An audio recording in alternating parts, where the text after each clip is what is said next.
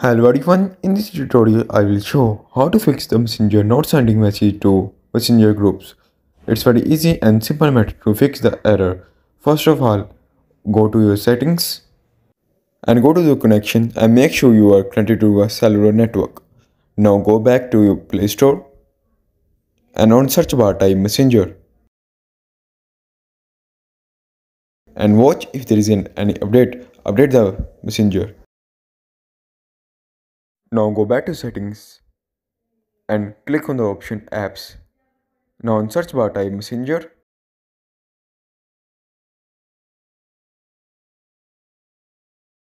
click on it and go to the settings.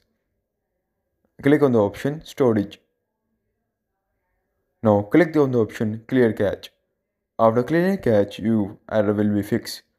If you're still facing the issue, reinstall the messenger. Hope you like the tutorial. Thank you for watching the video.